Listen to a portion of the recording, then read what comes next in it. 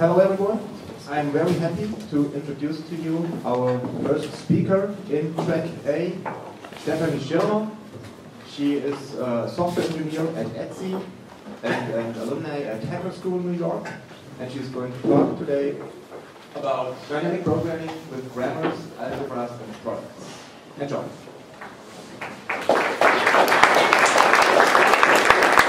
Hello, good morning. This is the first time I'm testing this mic, but it's working, so great. Um, I'm very happy to be here today and talk about dynamic programming. Uh, but first of all, why? Why, why do we want to do dynamic programming and how does it work? Um, so we want to do this to solve combinatorial optimization problems. That means these problems have a combinatorial part. Um, we have some counting to do. We have to enumerate all possible solutions of a recursive kind of problem. And then we have the optimization part. So we have to find a desired solution. Whatever desired means for us. It could be that we're looking for a maximum score of some sort or something like that. And examples for this kind of problem could be the Boggle problem, where you're searching words in a grid of characters. So how do you enumerate the potential words in this grid of characters in an optimal way? Um, another really nice example is the money changing problem. I think it's the smallest dynamic programming problem that I could find. Um, so imagine you have an amount of money and you have some coins. So how can you decompose this amount of money with these given coins? And another example that we use quite often in bioinformatics is um, text or sequence alignment which we use to find out how similar sequences are. So we would use this for biosequences, for example. For example, for a DNA, how similar is the DNA of me to the DNA of a mouse, for example. And another example from bioinformatics would be RNA structure prediction. So it's the prediction of the structure of a molecule which can form base pairs with, with itself when it's folding back onto itself. But let's get started with some really classic dynamic programming. I don't know um, how many of you have done dynamic programming before. Maybe you want to raise your hand. Yeah, quite a few. That's, that's really good. Um, so we're going to review it really quick. Um, if I want to solve a dynamic programming problem and I go open my algorithms book and I look into it, it will tell me do these four steps. Characterize the structure of an optimal solution, recursively define the value of an optimal solution, compute the value of that optimal solution, and then construct the optimal solution, like what it looks like, from this computed info. Okay, let's do this. So if we think about the money changing problem, uh, we have our coins here. Let's say we have one, three, and four dollar coins, and we have some given amount of money, for example, five. Um, and first of all, the first step is that my algorithms book says characterize the structure of an optimal solution. So if I want to decompose this number 5, um, what's an optimal solution? It's some kind of a sum, right? Um, and it would be the sum that's composed of these values of these coins, 1, 3, and 4. Okay, okay the second step. Recursively define the value of an optimal solution. How do we do that, recursively define it? We do that with a thing that we call recurrences. So there are these um, equations here, and this d of n is appearing again on the right side. So there's some kind of um, recursion going on. And for our money changing problem, this would be the recurrence for the decompositions d, for the amount of n that we want to decompose. So we could define this d of n in terms of smaller subproblems. And because we want to have a sum, we could say if we just subtract one of these coins, 1, 3, or 4, um, we would get one of these smaller subproblems. We would get a smaller sum, and we have to decompose that then in the next step. And if we are at 0, we're done. It's the base case, because we cannot decompose it further, right? Okay. Uh, the next step would be to compute the value of an optimal solution. So let's keep in mind we want to count the ways how to decompose these $5. So how many ways are there? And usually in dynamic programming we do this with a table, um, and we do this in a bottom-up fashion. We have a really small table here. Um, so here we can have our table, and this value n it goes up to 5 because 5 is what I want to decompose. Um, and this is the final problem that I want to solve. And then for D, I'm going to write down the solution for that particular sum. So if I want to fill this table, I can follow these arrows. I made these arrows here, like just to help our thinking a bit, to make it a bit easier. For this one dollar coin, it's very simple. We just go like just in steps of one, and then for the three dollars, you would go, for example, from this zero um, to the end of three, um, because we go in steps of three, and so on. And then for the four dollars, we just have these two arrows left, right? Um, and then how do we get these six paths? So every time we're filling a cell, and every time we're drawing a new arrow, we have to keep in mind in how many ways we could go before, how many ways were there before to get to that path. So that's how I come up with this number of six in the end. And then there's the fourth step. And the fourth step is usually the complicated step. Construct an optimal solution from the computed information. So in our case, that means how do I get my sums back? If I have the 6, how do I get my sum out of it? So I have to somehow go from this last position in the table, where the 6 is, backwards and figure out all these ways in which my solution was built up. At the same, same time, all of them. And that's usually the complicated step. Um, in this variant of the question that I posed, there is not even an optimization step. We're simply following all the paths at once. once. Um, but we could as well vary the problem, and we could say we want to look for the minimum number of coins to decompose these $5. Okay, that sounds great. Good news, everyone. Dynamic programming solves optimization problems. Over a large, that means exponential search space, in a reasonable amount of time, which means polynomial for us, right? Um, it's tractable by a computer. But there's a huge but. it's not that easy, actually. Um, so the bad news is, um, as we say, the development of successful dynamic programming recurrences is a matter of experience, talent, and luck. That's what we said in my former research group and it's kind of true. Uh, actually, it's really hard to get it right. So um, this kind of problem was really small. We had a very small table and it has just one dimension, so it was kind of easy to see what's going on. But imagine this table could be two-dimensional, or it could be even four-dimensional, or we could have multiple tables, and then it gets really hard. So what can we do? How can we alleviate this? And in our group, we came up with a new way to reason about dynamic programming um, and to automate all these ugly parts of it. So this is going to be great. How can we do this? Um, first of all, we will start with an example, and then we will learn that candidates are trees, questions are algebras, and programs are grammars. And then we will also learn about products, which give us a lot of power and make these computations fun. So let's go. Um, let's start with an example. Life, the universe, and all the rest. You all know where this is going. Um, and for this example, I want you to forget everything you know about dynamic programming. Forget everything. Forget about the money changing problem. Uh, just think that we have some magical device that lets us see at each step how the score of our solution of the dynamic programming problem is, and how does the solution look like that we constructed. So let's just imagine we have this magic device to see this. Let's say we get this answer. It's 42. we don't know what it is yet, but we can use our magic device to find out. Um, so what was the question? What actually happened here? Let's do this. Let's go back one step. Okay, there's a funny tree. So we have this funny tree which has some match at the top, and then it has some outermost children which say B. And there is some smaller number now, it says 30. So it's some kind of score. What's actually happening here? We don't know yet, but we're going to write it down. I like writing stuff down, it's great. Um, so we're going to write down this little equation here. Um, and because it's not easy to write, write down the tree, like this entire thing here, we're writing it like a formula. We write match AXA, and then um, yeah, because we know there's some letter, we don't really care what that letter is, but it seems to be matching. This B is matching with this B. And then something is going on recursively in the middle.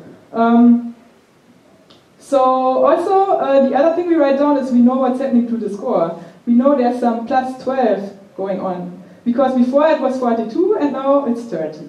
So we're writing that down as well. And next step, another match appeared. And actually what happened here is we can use the same equation to write it down. So there seems to be a reoccurring thing happening. That's really cool, we figured something out. So uh, if you look at this now, there's some BO at the side of some BO. What's going on? I think we should go back a few more steps to have a look. Okay. Something crazy is happening now. There's some divergence going on. There seems to be a choice. Um, there's a maximum going on. So we have two different scores. This 18 on the left side, and on the right side we have minus 10. There's a choice going on of the maximum score. Let's write that down again. So I'm writing down in the bottom, I already wrote it, choice of the maximum score. Very interesting. Um, so what's going to be happening in the next steps? Um, why are these two numbers different? Is there actually something different happening in the two branches now? Let's have a look. Okay, actually that's true. There are two different things happening. So in the left side there's happening a replacement, and in the right side there's happening a deletion. So we can read now from this top at the tree, we can read something like B O B, and then we can read uh, B O S, or we could read for the right side we could read B O B and then just B O, and then there's nothing. so that seems very strange. Um, so we're writing down replace. Replace of two different letters, L and R, left and right, uh, because they seem to be different, um, is happening, and it costs us minus 2 from the computation. And delete is also happening, and it also costs us minus 2. So now we already figured something out, and we can fast forward, because we kind of have an idea how this works. Okay, fast forward a bit. Uh, we do a bunch of matches at once. Here, match, match, match. Um, and now we can see there's actually a string alignment going on. And in the same way, we can also, again, write down what happened. We can see the match, deletion, and replacement. They're still the same as in the previous steps. I wrote them down here because my tree has grown. And we can see we have two different kinds of alignments of Bobkonf, Bobkonf, and Boskop going on. Um, so first of all, on the left side, we have a replacement at first. And then we have these two matches of the K and O. And these matches, they are really important because they give us the highest score. And this seems to be the winner because of that, because of these two matches. And in the right side, we did a deletion at first. Um, and then we did all these replacements here. Um, and then there's this empty string where the alignment ends. Okay, very interesting. Uh, what happened? We found two alignments of Bob Bobkonf and Boskop, and they are quite different, as I said. Uh, the first one wins because it has these two extra matches in here. I just wrote it down as letters here. Um, and the second one loses. It has a score of only 14. But what we can see from this, or what we can learn from this, is that each alignment and each score are represented by the same formulas. These formulas that we have written down in the process. So let's summarize this reverse engineering exercise. The result of a dynamic programming algorithm is the value of a formula which is built from evaluation functions, which are functions that take us from the tree, the tree that we had, to that number, this, this number that's yellow. And they're interleaved with applications of a choice function. And the choice function, in our case, it was the maximum, the maximum function. Uh, it's selected between the left and the right tree in our case.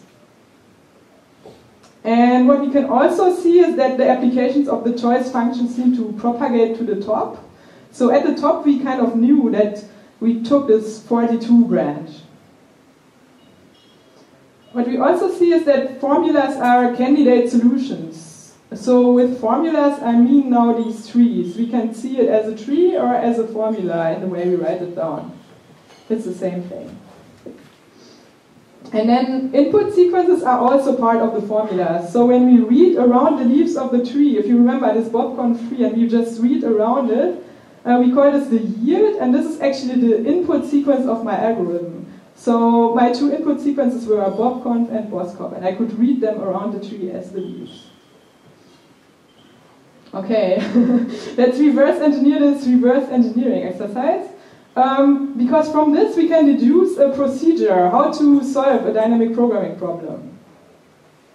So first of all, we are just reversing the order of these four steps. Uh, we said, uh, first of all, the fourth step, the input sequences can be found at the leaves. What does that mean for us? We do this first, we read at first the input sequence. And from the input sequence, we construct all candidate solutions as formulas.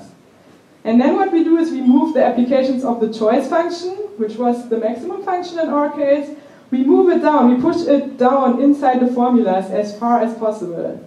And then we also evaluate the formulas to get the desired result, to get our number, in our case 42. Candidates are trees. what do I mean by this? Let's see. so if we think a bit about our method, um, several steps of our method could be automated. The steps of reading the input, applying the choice function, evaluating, these steps, they are always the same. So we could totally automate them and we could write a program to do that. The computer can do it.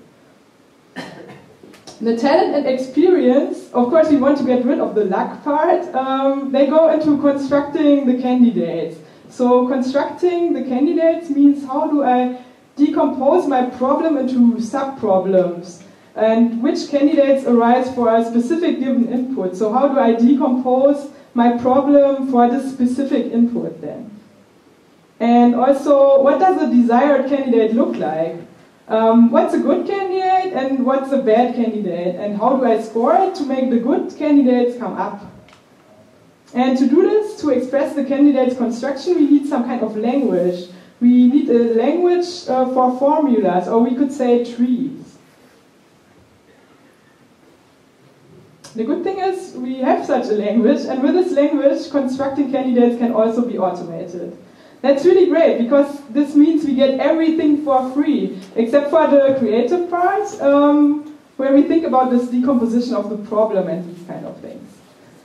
Mm, actually, we don't get it all for free because we wrote a compiler to do this for us, and we wrote the third generation of this compiler, so we put a lot of work into it, but you get the idea. You could get it for free. Okay, let's take a look at the first building block of our little programming language that I'm going to show you.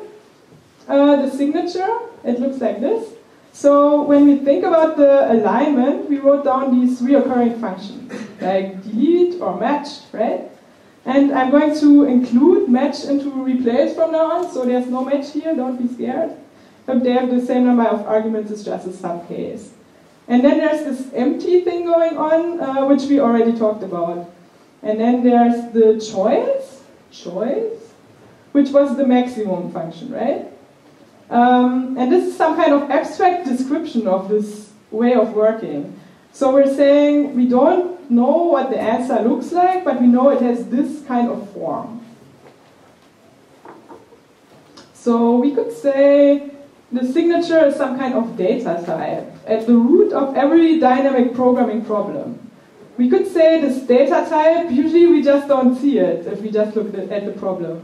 Because in the normal dynamic programming approach, the candidates, they are never represented. We don't know what they look like, so we never see this data type, but it's there, it's hiding. Okay, my favorite part. Questions are algebras. Um, so when uh, when I imagine I can build my search space now, let's just imagine we have some magic way to describe my candidates and how they are being built. I don't know how yet, but let's just imagine that's a given for now. But how do I ask a question? How do I say, give me please the maximum scoring alignment? How, how do I ask that to my setup? Uh, this we can do with evaluation algebras. So this is happening in what we call the evaluation phase. What's happening there exactly? So there are two things happening. First of all, there's the scoring of the candidates, um, and then there's also the making of choices. And these two things, they're all encompassed in the evaluation algebra. which is just a bunch of functions. Functions for scoring and one function for making the choice. Let's talk about these choice functions first. So in our example, from the beginning, our choice function was the maximum function, right? You all remember it. So we're looking for the maximum scoring alignment, for example. But in fact, there could be a variety of choice functions. We could come up with whatever we like. It's our creative part. Um, but what all of these functions must have in common is that they map a list of values to a list of values, like indicated at the bottom here. Um, so even if we just end up with one value in the end, like with the maximum, um, we still have to keep it in the list. It's just a list with one, one value then. And we can see here, the maximum, it's very popular, it's at the top. And the minimum, it's also very popular. And what happens then if you say, I can give you the best one, then somebody comes from your office next door and they say, oh, can you give me the five best ones? So you have this max k, which is also really popular. And what you could also do is, you could do an enumeration. Um, so you could have the identity function and just keep everybody in the space. This is really interesting to inspect the entire space, but it could be really, really expensive, costly, because you have to enumerate all your solutions, right? And then you could do other things like combinatorics. The simplest form would be just summing up everything in the entire space. And what you could also do uh, is sampling, and then it gets really interesting. Um, so you could have some random choice from your search space. Okay, how does this uh, scoring of alignments work? Um, this works with an algebra, um, the scoring algebra or evaluation algebra we call it. And here we see, when we look at it, we see it says something like algebra score implements align. And we know this line already, so it's implementing our signature. Um, and we know exactly what functions should be in this algebra from the signature. It only works when all of these functions are ready. So I have there replacement, deletion, insertion, um, and empty. And you can see the scoring is happening there. So in the functions themselves, the scoring is happening. Um, and it quite fits what we have seen in our reverse engineering exercise. So you have the 12 and the minus 2 in here. And you can, when you evaluate, you can say, um, yeah, we have our formula here. So this is actually our candidate from the slide. I just collapsed the tree for you so it fits on the slide and abbreviated this match replacement. You can see it, you can read it, I think.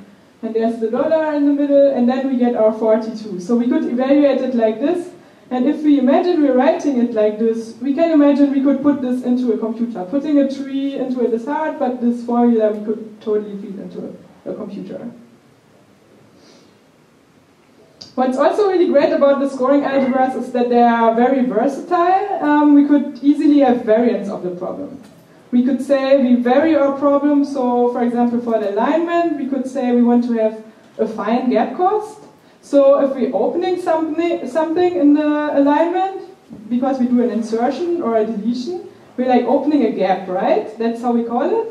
And we could say we want to make it cheaper to extend the gap and more expensive to open it. So when, that, uh, when we do that, um, we make it, make it more likely to have one big gap than many scattered small gaps. And this could be done by just adding two extra functions to the algebra. So we could have something like delete extend and insert extend and give them different costs and we're done. And I could also do the same thing if I wanted to make my alignment local. So if I don't want to align the entire string, like my bobkonf and bosconf, the entire string, but I wanted to ask the question, give me the best local match in it. That means I could arbitrarily skip something in one of the input strings, right? I could just go to a place where they match better. So I would need functions for this, skip left and skip right. Or I could even combine these two questions into one. It's up to me. Let's talk about RNA. That's also one of my favorite topics. That's what I did my PhD on. So uh, this is an RNA molecule. It's the little sister of DNA. It's a single-stranded molecule. And uh, it folds back onto itself to form these base pairings, as you can see. Um, and then has some double-stranded regions. And it has several building blocks, which you can see in this picture. So you can see there's this single-stranded region here in the bottom where it's not paired, then there's a paired part and it can have bulges. Then there's this huge multiple loop in the center which has many arms. Uh, there could be an internal loop, and there's a stacking region here which consists just of stacked base pairs which stack on top of each other, and they're very stable. Um, and you could have something like this hairpin loop where it's just going around, and there are some unpaired bases in this loop. Um, so these are the building blocks of RNA, but uh, if I think about how would I use this in an algebra now, um, let's just imagine one exercise. Let's just imagine we just want to print out this molecule as a string of dots and brackets to make it easier to read it in the computer. Um, so every time we encounter a single-stranded region, like down there, or a single-stranded region could be in the bulge in the multi-loop, um, every time we encounter a single-stranded region like that, um, we put a dot for each base, um, that's, that's not paired, and every time we have a base pair, we put a bracket. So we could put something like some opening brackets down here for this lower part of the single-stranded, uh, um, of the paired bases here, and then at the end of our entire molecule, when we go around, we have the closing brackets. Can you imagine this? so how would we do this as an algebra? Um, how would we how would we get this? Um, how would, would we get these building blocks and print them? Imagine our building blocks, uh, we have them as functions, so we have abstracted them in a way. So here we have SR, SR, you can read it there. SR, it's a stacking region, stacking region where are just these base pairs. And then we have this HL for the hairpin loop, which was this loop that's going around. Um, and then with these functions we can say what the algebra should do. And we just print out the molecule in this way of dots and brackets here. We're telling this, uh, we are, we're calling this pretty print because it's pretty printing um, the molecule. And for the first term, which is the stacking, stacking region, we're just adding a base pair. So you can see here in this append, there's one opening bracket, there's one closing bracket, and then we go down recursively in the middle. Um, yeah, the base pair is just a pair of brackets, and for the hairpin loop, which would be down here, HL, hairpin loop, um, which was this thing with this, uh, yeah, looping around. There we would have a region of unpaired dots in the middle. So here you can see there's this append of the dot and size of region there in the middle. So that's why we have this construct there. Uh, if we look at an example RNA structure, which could look like this. So there's some stacking region here, there's this multi-loop, multiple loop here, and then there are some unpaired bases, like here, here's a hairpin loop HL. You can see there's the looping part are all these U's. Um, we could evaluate it like this. And as we can see, we can use this yeah, for extensive programs and for real-world problems in bioinformatics, for complicated problems. Um, and then let's say we just want to count the RNA structures uh, then we actually don't have to write anything because, yeah, it's very short. The compiler does it for us. We can just write this a bit weird line, algebra my count, auto count. And then when we evaluate this, uh, we see there's just one folding of it. So for the counting, we would just get one. It's just one structure. Okay. Programs are grammars. So this is the last part that's missing, right? How, how does it all work? There's, yeah, it still doesn't fit together. There's a piece missing. Let's re recapitulate where we are. Um, we know now how to represent candidates. We know now how to score and choose candidates. We still need to know which are the candidates for a given input. We skip this part, right? Um, so if I have an input string, how do I get the tree out of it? And we can do this um, using tree grammars. I think, or I hope, that most people here are familiar with string grammars. Um, string grammars describe languages of strings, right? And from the grammar, we can automatically derive a parser, which recognizes the strings that are in the language. So the parser could say, oh, this string is in the language, or this string I reject, it's not in there. And in tree grammar, it's a really similar thing. It describes a language of trees. So our candidates are trees, right? And that's right what we need. So these trees, they have, an, they have the input strings as the yield sequence, we said. They, they have the input strings around the leaves, right? And a yield parser, that's what we call it, um, can derive this automatically from a grammar. So it reads the yield, it reads the input string, and then it generates the corresponding candidate. So it's generating the corresponding tree based on the grammar, which has the right sequence around its leaves. That's pretty fascinating. How does it work? How would such a grammar look like? Um, this again is actually a piece of code which would work with our compiler, and it's a grammar for our alignment. And it looks a bit like the grammars that you know from theoretical computer science. So there's an alternative operator, um, we have the sole clause here, this grammar clause uh, alignment, and we have an axiom where we start. It's called a Ali alignment. And um, then there's this last line, there's this really interesting thing, there's this H. Uh, and that's the objective function. That's the function where the, that was the maximum in our first example, for example. It could be any other function again. Um, but uh, this is the application of the function. So it would be applied to the entire clause with all these um, variants of it. And all these cases, replacement, deletion, and insertion, they are recursive. So the alignment is uh, happening in there again. Um, this is just a different way to write like what the outermost children are, a different syntax. And um, actually this is uh, how we would write it for, uh, for the computer, uh, completely like this.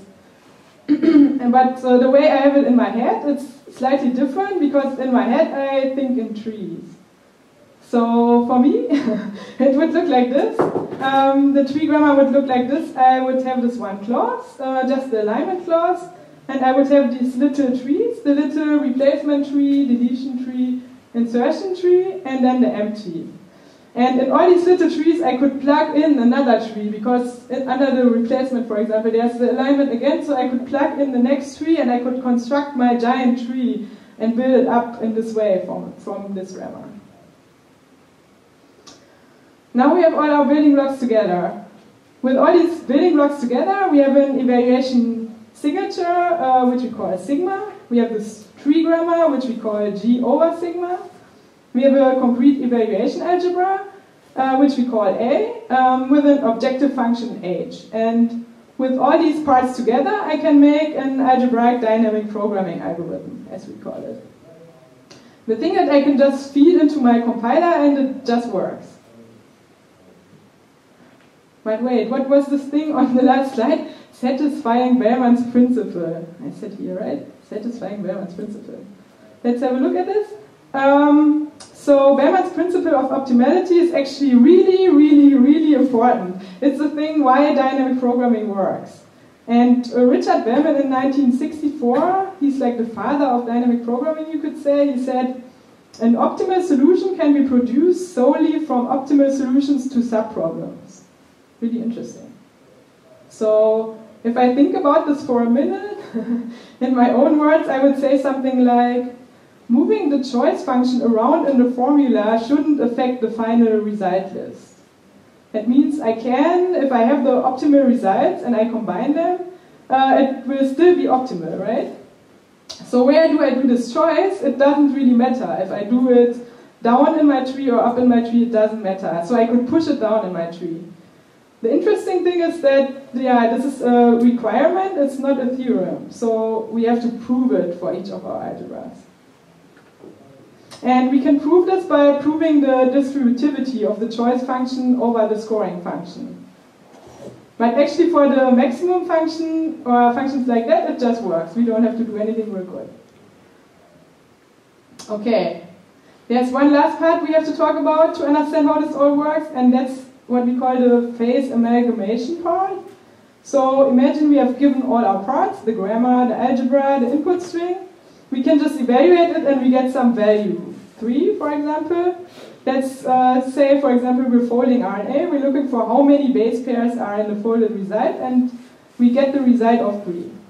So if we think about how this works in our conceptual view in our head, we could say, first of all, there's this yield parsing going on, and then it's constructing the space of candidates with all the trees in it, my search space, it's all there.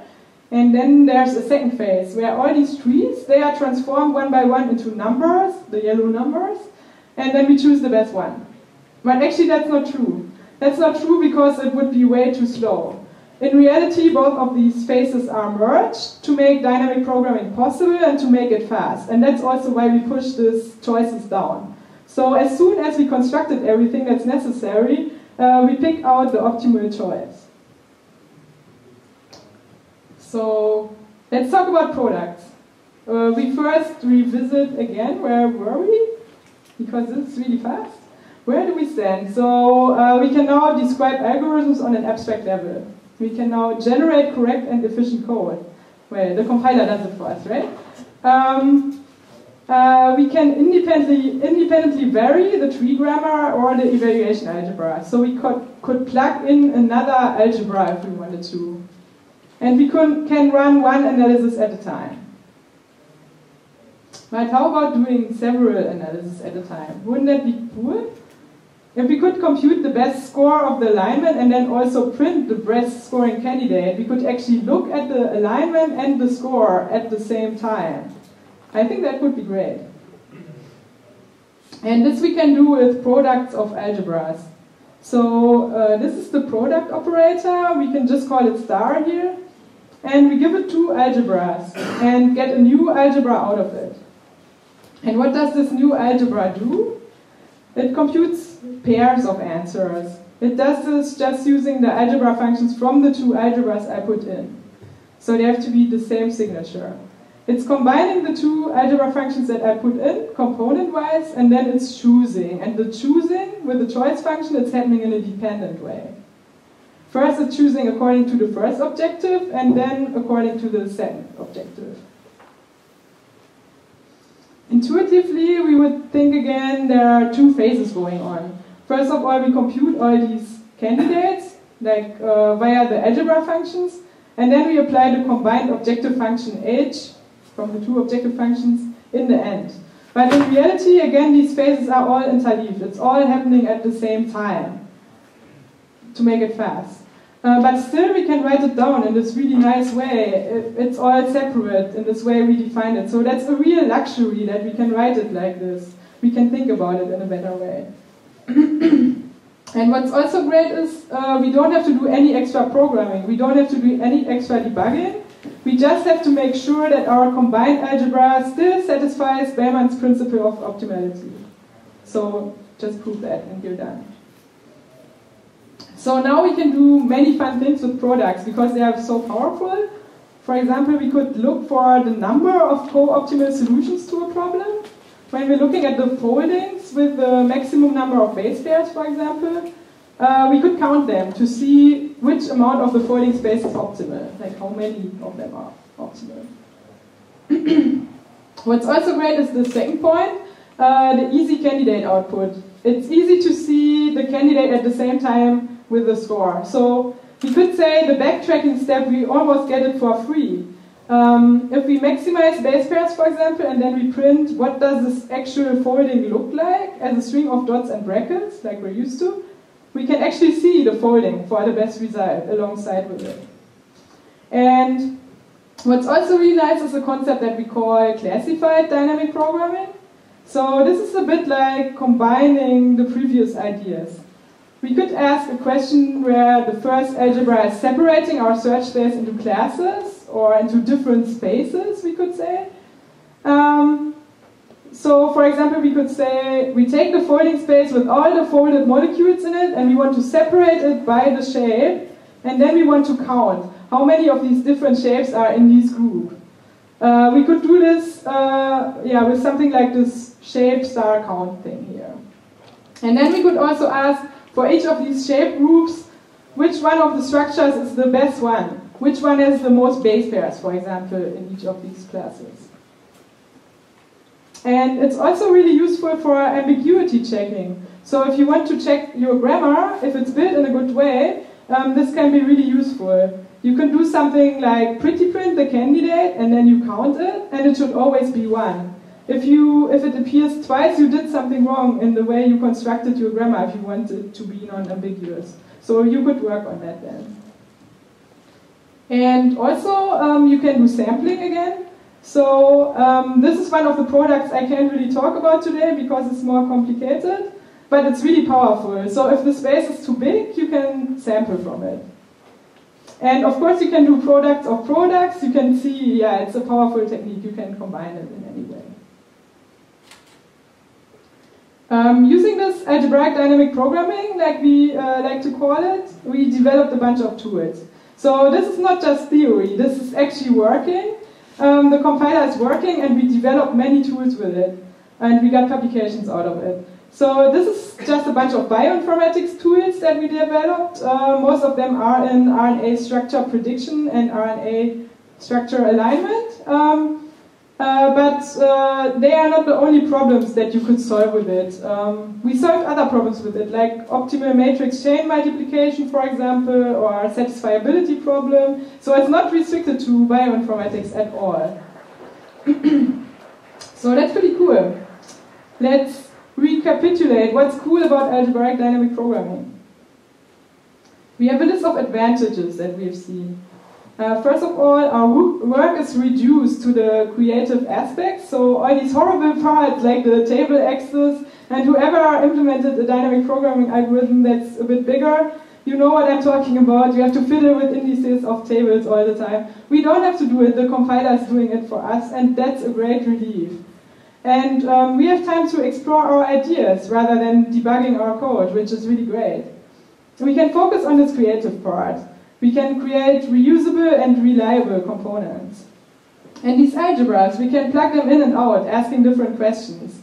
Um, we can have different algebras that just give us the output or count or whatever for the same grammar. This is completely composable. Uh, we turn tricks into techniques. So there's a lot of trickery in dynamic programming in the conventional way. And it's quite arcane, and we want to make dynamic programming easier to learn. Um, I think we, we just have more words to reason about it and take these parts apart and these different phases so we can talk about them separately because otherwise everything's happening at once. Um, some of the disadvantages are, of course, textbooks use the old-fashioned recurrences. I had to dig through many pages of recurrences in my PhD. Um, another disadvantage is that it's limited to sequence-like data right now. So the problems have to decompose into subword-like structures. And that's why it's really useful in bioinformatics as it is, but it can be applied to other areas too, as I said. And actually this limitation is uh, only in the compiler for now. So in theory, we already worked it out. It could totally work on trees as well, um, and more complex structures, but in the compiler, it just deals with sequence-like data right now. And that's all I have to say today. Um, a big thank you for my previous work group, um, the Practical Computer Science group in Bielefeld, where I learned about all these things and worked on the compiler. And I hope you remember the word reverse engineering of 42. And um, talk to me about your favorite dynamic programming problem. So come find me after the talk if you have one, and show it to me, and we try to get to uh, try to get it to work because I like these kind of problems. Thank you for listening.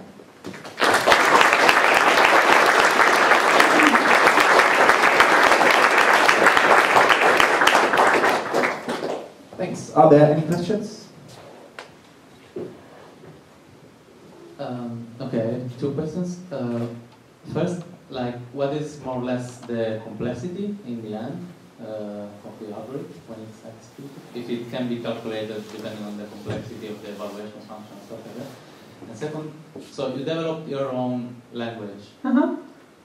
Uh, hadn't it be possible to implement it some existing language? Yes, these, uh, these are two really great questions. So um, uh, the first question was about the complexity. Um, so um, actually, we can use all kinds of different algorithms with this framework. So uh, there's no limit in complexity. You just have to make the decisions uh, which uh, things you want to tabulate. Uh, how many tables you want, you determine by how many grammar clauses you want. And then you say, tabulate this thing, this one clause, or compute it on the fly. And this decision is up to you. Um, we have uh, some mechanism to figure that out. Um, we wrote a paper about it, but it's not super easy to do that. Um, so you can hand tune it with a keyword, tabulate, and then mean like the yeah. depending on the size of the program to compile it, or what do you mean? to execute it, like the cost in time and space. Uh, it completely depends on your problem. Yeah. Um, so, so for each table, uh, you get like two extra dimensions. If it's like a two-dimensional table, for example.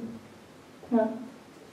Um, uh, so, for example, the thing that I solved in my PhD, it was uh, a forest alignment with this affine gap cost, and for that, uh, you had like seven different tables which have four dimensions. So it could completely be depend on a problem. Yeah. What, what was your second question again? Sorry. If you can implement the same like IO Ah, inside another language. I, I remember. Okay, so that's actually the history of this thing. So when we started, um, this was before I, I, jo- I joined this group, but when they started um, working on this, um, this language was embedded in Haskell. So we wrote some combinators in Haskell, which were working like these alternative operators and so on. And we were building the grammar itself, um, and this, this was done uh, with, with parser combinators. So the grammar itself was the parser and it was embedded in Haskell. And then we wrote a paper about how to expand it from Haskell and bootstrap like your own thing. I wanted to expand on the uh, first question um, the uh, regarding the complexity. Is it possible in any way to derive from the syntactic structure of the algebra and stuff um, anything about the space complexity, time complexity, for example, the table sizes you, you talked about? Um, you can see it after a while when you work with it for a while. Um, you, you can see it. So I mean that sounds really uh, like, like a bad, uh, bad uh, answer to this, but um, I can see from how many clauses we have and um, the way they are structured, like how many dimensions of recursion they have. I can see how many dimensions each table has, and each table is one clause. So if you think about it for a while, um, you can figure that out from that but you don't know how sparse these tables are. So you could be wasting a lot of space in a huge table, and um, you could hand optimize it with some mapping and to make the table dense. So that, that would be an upper bound. Mm -hmm, Exactly. Yeah. Okay.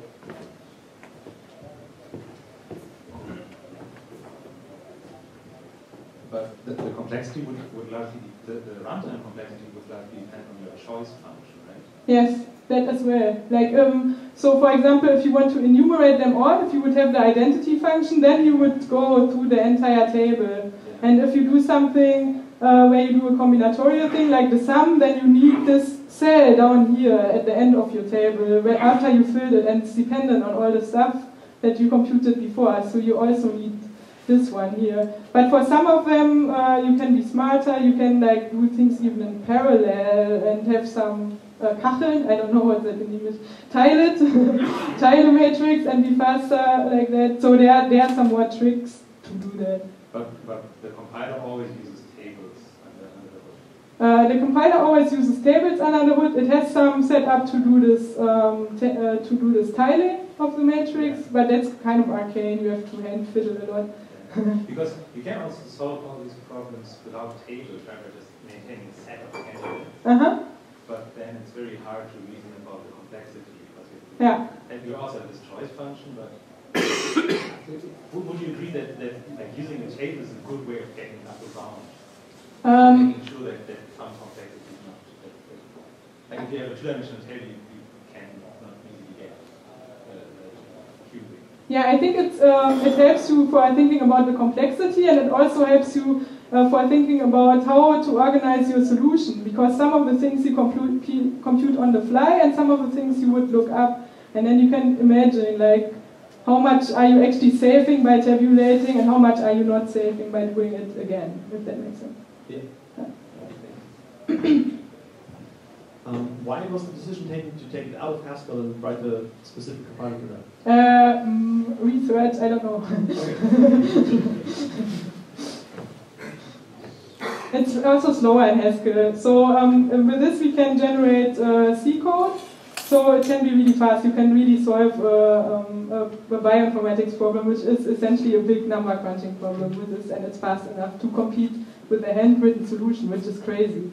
Um, which in Haskell you cannot do. Um, but for example, in Haskell you can use some of the stuff that you have available from Haskell to um, make sure that you have the right things in the table. Like. So both have their advantages. Okay, so since you're, since the problem is the creative part, it seems like it's important that you can play with the algebra that you choose. Mm-hmm. So you have like an increment- incremental version where you can use some of the stuff you computed before, you change out one of the algorithms, for example, and then use that that you computed beforehand. Yeah, that, that's totally how, how I work. I mean, I don't use the stuff that I computed, so I don't uh, store my tables. I think some people did that in our work group for some pseudoknots in RNA, like some very specific problem, they did that. Um, but what I do is, or what I did a lot was I wrote one algebra and then I explored kind of the space and I plugged in the second algebra and then I come closer to my problem, come closer to my problem and so on. So you're like plugging these different evaluations on, on, onto the other thing to move forward towards your solution, if that makes sense. But I think you can do this other thing as well. I just didn't do it. I have one last question. Uh, does the compiler check the Bellman's principle in any way? No, you can't. You have to prove it. It's You to impossible. do it. Yeah. Would it be possible to QuickCheck to try to find a uh, counterexample for a few terms? And I don't know, but I want to know. That sounds great. So, Yeah, counterexample, I guess. Yeah. Yeah. Next paper. Mhm. So, uh, thank you very much. Thank you. Uh, right now we have a coffee break. The tutorials start at 11.35 and the talks here continue at 11.45.